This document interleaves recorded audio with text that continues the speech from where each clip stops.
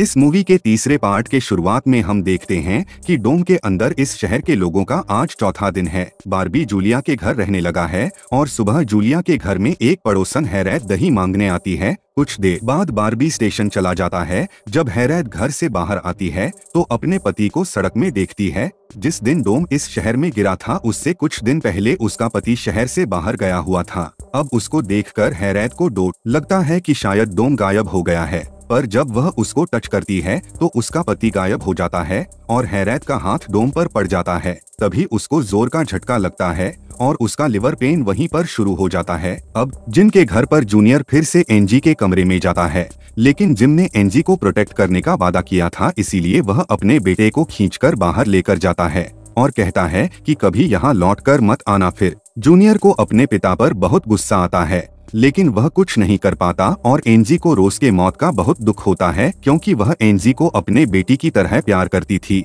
वह रोज के रेस्टोरेंट में जाकर देखती है कि रोज की लाश अभी भी वहीं पड़ी हुई है।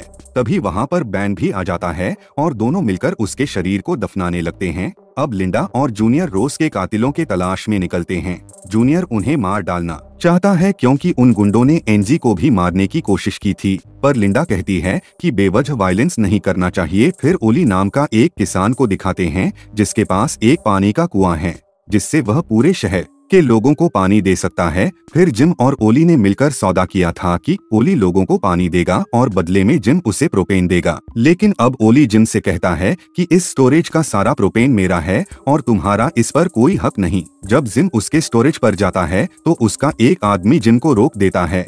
फ़िलहाल तो जिम चला जाता है, लेकिन वो इतना प्रोपेन यूँ ही नहीं छोड़ने वाला है। दूसरी ओर जॉय और नोरी डोम के साथ कनेक्ट होने की कोशिश करते हैं। जॉय का कहना है कि ये डोम एक एटॉम की तरह है, यानी इसके बाहरी हिस्से में इलेक्ट्रॉन्स है। लेकिन इसका मेन पार्ट यानी न्यूक्लियस इसके बीच में होगा और दोनों न्यूक्लियस की तलाश में शहर के बीच एक खेत में पहुँचते हैं। उनके साथ एक कुत्ता भी होता है, जो उन्हें गाइड करता है। जैसे ही वे डोम के बिल्कुल बीच में पहुँचते हैं तो अचानक कुत्ता डर कर भागने लगता है। दूसरी ओर जूलिया हैरैत को हॉस्पिटल लेकर जा रही होती है। तभी रोज के कातिल उन्हें रोक लेते हैं। हैरैत दर्द के मारे चिल्लाने लगती है। लेकिन वो गुंडे इनका सारा पेट्रोल चुराने लगते हैं, तभी बारबी वहाँ पर आता है और गुंडों को भगाता है। ये दोनों हैरैत को जॉय के घर ले जाते हैं, जहाँ अब एलिस रहने लगी है। असल में इस वक्त शहर में यही एक अकेली डॉक्टर है, इसीलिए हैरैत को यहाँ पर लेकर आए थे। अब और कैरोलिन हैरैत के डिलीवरी में मदद करते हैं, दूसरी ओर जॉय और नोरी डोम के सेंटर में पहुँचते हैं तो वहाँ पर एक छोटा डोम होता है, जिसके अंदर एक काला अंडा होता है। जब वो छोटे डोम को छूते हैं तो एलिस उनके सामने आती है और हाथ उठाते ही वह गायब हो जाती है। नोरी को लगता है कि उसकी माँ मुसीबत में है, इसीलिए वह तुरंत घर भागकर आती है। यहाँ ओली जिम से मिलता है और बताता है कि मैं तुम्हें मना नहीं करना चाहता था। लेकिन इस शहर के लोग मुझे हमेशा तुमसे कम समझते हैं, इसीलिए मैं उनको दिखाना चाहता हूँ कि मैं भी उतना ही पावरफुल हूँ और मेरे कुएँ के बिना उन्हें पीने का पानी भी नसीब नहीं होगा। दूसरी ओर लिंडा और जूनियर उन दोनों गुंडों को गिरफ़्तार करने वाले होते हैं, पर जब वो गुंडा लिंडा को धक्का देकर भागने लगते हैं तो मजबूरन लिंडा एक गुंडे को सुट कर देती है, दूसरा अपनी जान का भीख माँगता है, लेकिन जूनियर उसको मार डालता है। यहाँ हैरैद एक लड़की को जन्म देती है और उसका नाम है एलिस रखती हैं। क्योंकि एलिस के बिना उसकी डिलीवरी नहीं हो पाती, पर तभी एलिस को हार्ट अटैक आ जाता है। अब रात को डोट प्रोपेन स्टोरेज का गार्ड ट्रक में प्रोपेन लोड कर रहा होता है और तभी जिम ट्रक पर सुट करके ब्लास्ट कर देता है, जिससे गार्ड जलकर मर जाता है। दूसरी और नोरी घर आकर अपनी माँ की हालत देखकर बड़ी परेशान हो जाती है और जॉय अपनी बहन को एक हफ़्ते के बाद देखकर बहुत खुश होता है। तभी एलिस अपनी आखिरी सांस लेती है। अब नोरी अपनी माँ की ऐसी मौत सह नहीं पाती और डोम से कहती है कि मेरी माँ को लौटा दो फिर अगली सुबह। बारबी एलिस के शरीर को दफनाने के लिए गड्ढा खोदता है। यहाँ रोज की मौत के बाद एंजी उसके रेस्टोरेंट को चलाना चाहती है क्योंकि जिम इस जगह का ओनर है। और वह एनजी को रेस्टोरेंट चलाने के लिए परमिशन देता है। फिर जिम ओली से सुलह करने जाता है, क्योंकि शहर में फ़ूड सप्लाई की कमी है, और ओली के मदद के बिना लोग भूखे प्यासे मर जाएँगे, पर ओली जिम से बदला लेने के लिए ओली शहर के लोगों को भूखा मारने पर उतर आता है। अब जिम लिंडा और बारबी को शहर के कानून के बारे में बताता है। जिसमें इमरजेंसी के वक्त किसी की भी प्रॉपर्टी जब्त की जा सकती है। इसीलिए वह पुलिस फोर्स से रिक्वेस्ट करता है कि वह ओली के फार्म पर कब्जा कर ले। पर जब वे फार्म पर जाते हैं तो वहाँ इनसे कई ज़्यादा लोग बंदूक लेकर खड़े हुए होते हैं। उनमें से एक आदमी कार्टर के पैर पर सूट करते हैं और वार्निंग देते हैं कि ये ओली का फार्म है, इसीलिए अंदर मत आओ। अब जूनियर अपने पिता से बदला लेने के लिए ओली के साथ मिल जाता है और बाकी लोग स्टेशन वापस आ जाते हैं। दूसरी ओर जॉय जूलिया को छोटे डोम और अंडे के बारे में बताता है और दोनों उसको देखने के लिए जंगल की तरफ़ जाने लगते हैं और इस वक्त अंडा पिंक कलर का चमक रहा होता है, फिर जूलिया उसे टच करने की कोशिश करती है, लेकिन छोटा डोम उसे प्रोटेक्ट कर रहा होता है, फिर वह धीरे से डोम को छूती है तो उसे जॉय का एक विजन दिखता है जिसमें वह कहता है कि राजा का ताज ओसी होगा। और हाथ उठाते ही विजन भी गायब हो जाता है। इस पर जूलिया शॉक हो जाती है और दोनों जल्दी वापस घर लौट आते हैं। फिर यहाँ पर पानी के सप्लाई के लिए जिम लोगों को इकट्ठा करके ओली के आदमियों पर हमला करना चाहता है। लेकिन बारबी कहता है कि इस तरह टाउन के लोगों को आपस में लड़ना ठीक नहीं है। इसके बजाय हम ओली के फार्म में कुएँ को ब्लास्ट करके पानी को शहर में किसी और भाग में डाइवर्ट कर सकते हैं।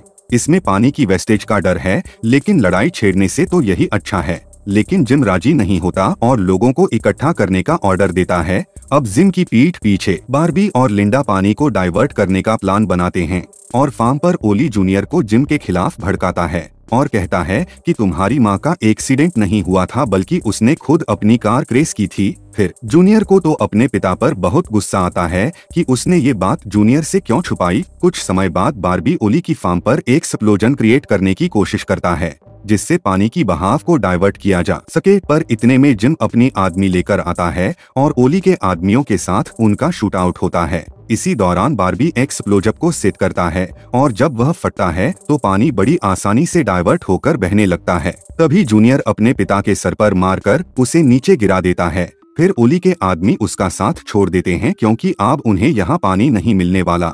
और ओली जूनियर को गन दिखाकर उसके पिता को मार डालने को कहता है, पर जूनियर जीन से पूछता है कि आपने मेरी माँ के मौत के बारे में झूठ क्यों बोला? जिम कहता है कि मैं तुम्हें दुखी नहीं करना चाहता था क्योंकि तुम चाहे मुझसे कितनी भी नफरत कर लो, लेकिन तुम मेरे बेटे हो, इसीलिए मैं तुम्हें कभी दुखी नहीं देख सकता। ये सुनकर जूनियर अपने पिता को मार नहीं पाता और तभी ओली जिम को शूट करने की कोशिश करता है, पर जूनियर ओली को ही शूट कर देता है, फिर कुछ देर बाद बारबी जिम से मिलने उसके ऑफ़िस जाता है। और बारबी को बड़ा गुस्सा आता है, क्योंकि शूटआउट की वजह से पाँच आदमी मारे गए, पर जिम को इसकी कोई फ़िक्र नहीं है। फिर बारबी रियलाइज़ करता है कि जिम सिर्फ़ अपनी लीडरशिप को बचाने के लिए लोगों की मदद करना चाहता है। फिर अगली सुबह जूलिया बारबी को जंगल के बीच में लेकर जाती है। लेकिन वहाँ ना तो छोटा डोम होता है और ना ही अंडा। और तभी लिंडा बारबी को कॉल करके बताती है कि टेड नाम के एक आदमी ने गलती से एक राह चलते आदमी को शूट कर दिया है। हालाँकि वह एक ड्रग एडिक्ट को शूट करना चाहता था जो बिना परमिशन के टेड की प्रॉपर्टी पर घुस आया था। फिर बारबी तुरंत वहाँ पहुँचता है। ड्रग एडिक्ट बताता है कि लेस्टर मुझे रेप्चर नाम का एक ड्रग बेचता था, लेकिन पिछले कुछ दिनों से मुझे ड्रग नहीं मिला है। फिर ये सुनकर बारबी और लिंडा बिल्कुल शौक हो जाते हैं कि लेस्टर सिर्फ़ अंतिम संस्कार ही नहीं करता था, बल्कि तीन एजर्स को ड्रग का आदि बना रहा था। वे तुरंत लेस्टर के घर पर जाते हैं और देखते हैं कि वहाँ पर रेप्चर बनाने के सारी चीज़ें भरपूर मात्रा में होते हैं। और इस ड्रग का मेन इंग्रेडिएंट प्रोपेन ही है। लेकिन इतना सारा प्रोपेन जिम की जानकारी के बिना तो शहर में आ ही नहीं सकता। इसीलिए अब उन्हें जिम पर शक होता है, दूसरी ओर जूनियर एनजी से मिलने रेस्टोरेंट जाता है। वह अब भी यही समझता है कि डोम की वजह से ही एनजी उससे दूर रहना चाहती है। तभी अचानक एनजी को दोहरा पड़ता है और वह कहती है कि पिंक स्टार्स नीचे गिर रहे हैं। फिर कहानी के इस पॉइंट पर एक नई कैरेक्टर अंदर आती है, जिसका नाम मैक्स होता है। और ये बहुत बड़ी बिज़नेस वुमेन है और जिनको प्रोपेन सप्लाई करने वाली मेन डीलर है। जिस दिन शहर में डोम गिरा था, उस दिन ये जिम से मिलने आई थी और तभी से ये पुराने घर में रह रही है। लेकिन अब वह शहर पर आए हुए संकट का फ़ायदा उठाकर खूब पैसे कमाना चाहती है। दूसरी ओर जूनियर एनजी को घर पर ड्रॉप करने का वादा करके उसको अपने गाड़ी में लेकर जाता है। लेकिन एनजी बहुत डरी हुई होती है कि वह फिर से उसे शेल्टर में बंद ना कर दे। फिर वह चौंक जाती है जब जूनियर सच में उसे घर छोड़ देता है और कहता है कि जल्द ही सब कुछ ठीक हो जाएगा। घर में जूलिया और बच्चे उस अंडे के गायब होने के बारे में डिस्कस कर रहे होते हैं। तभी एनजी आकर बताती है कि उसे दोहरा पड़ा था, तब उन्हें यकीन हो जाता है कि इन तीनों को किसी स्पेशल काम के लिए चुना गया है। तभी नोरी एनजी के पीठ पर एक तितली की टैटू देखती है, जो बिल्कुल डोम पर चिपकी हुई तितलियों की तरह है, पर बाकी लोग इस बात को सीरियसली नहीं लेते। और अब शहर के लोगों को सुरक्षित रखने के लिए जिन सभी के गन्स वापस लेना चाहता है। लेकिन वह जानता है कि लोग ज़ोर ज़बरदस्ती से नहीं मानेंगे, इसीलिए वह अनाउंस करता है कि जो भी अपनी गन स्टेशन में जमा करेगा, उसे एक्स्ट्रा खाना और पानी मिलेगा। जंगल में जॉय और नोरी अपने कुत्ते को लेकर फिर से एक बार अंडे को ढूँढने निकलते हैं और एनजी पुलिस स्टेशन जाकर जूनियर से मिलती है और इस डोम के बारे में पूछती है, क्योंकि जूनियर अक्सर कहा करता था कि डोम की वजह से एनजी अजीब बिहेव कर रही है। फिर वह एनजी को अपने घर लेकर जाता है। और कहता है कि उसकी माँ एक आर्टिस्ट थी, और एक दिन उसे एक अजीब सपना आया था जैसे उसकी माँ ने पेंट किया था। उस सपने में जूनियर एक पहाड़ पर खड़ा था और आसमान से पिंक स्टार्स गिर रहे थे। फिर दूसरी ओर रेस्टोरेंट में, शहर के कई लोग अपनी गन्स को जमा करने के लिए आते हैं, लेकिन टेड जिसने एक राह चलते आदमी को शूट कर दिया था वह नहीं आया। फिर बारबी और जिम उसके घर जाते हैं तो पता चलता है कि जिस दिन डोम यहाँ पर गिरा था, उस दिन एक्सीडेंट में उसकी पत्नी और बच्चे मर थे और अब वह जीना नहीं चाहता और खुद को शूट करने वाला होता है, फिर जिम उसको रोकता है और समझा बुझाकर उसे हॉस्पिटल में भेज देता है। इसी दौरान लिडा पता लगाना चाहती है कि आखिर इतना सारा प्रोटीन कौन इंपोर्ट कर रहा है। और वह प्रोपेन स्टोरीज पर जाकर सीसीटीवी फुटेज चेक करती है तो पता चलता है कि मरे हुए इंस्पेक्टर शेरीफ और मैक्स के बीच कोई डीलिंग हुई थी, लेकिन वह विश्वास ही नहीं करना चाहती है कि इंस्पेक्टर शेरीफ बूढ़ा आदमी था। दूसरी और मैक्स बारबी को किस करती है, तब पता चलता है की मैक्स बारबी की बॉस है। लेकिन बारबी को उसके साथ काम करना बिल्कुल भी पसंद नहीं है, क्योंकि बारबी और जिम को मैक्स की हर बात माननी पड़ती है, क्योंकि वह इनकी सारे बुरे काम के बारे में जानती है, और किसी भी वक्त इनके पोल खोल सकती है, जब बारबी और मैक्स अकेले होते हैं। तो वह कहती है, मैं जूलिया को बता दूँगी कि तुमने उसके पति पीटर का खून किया है। असल में उस दिन बारबी ने घबराहट में मैक्स को कॉल किया था। अब पीटर गायब है तो मैक्स समझ जाती है कि बारबी ने ही उसको मारा होगा। दूसरी ओर जॉय और नोरी को जंगल के बीच वो अंडा नहीं मिलता है, और वे घर लौट आते हैं। लेकिन अंडा उनके घर के पास तबेले में होता है, और एनजी बताती है कि कल रात जॉय उसको यहाँ पर लेकर आया था। लेकिन जॉय को कुछ भी याद नहीं है, फिर वे धीरे से डोम को टच करते हैं तो पता चलता है कि इनके हाथ चाबी की तरह उसको खोल सकते हैं। लेकिन लॉक को खोलने के लिए उन्हें और एक इंसान की ज़रूरत है, जिसकी मदद से ये लॉक खोल सकता है। और इसी के साथ इस मूवी का तीसरा पार्ट यहीं पर खत्म हो जाती है।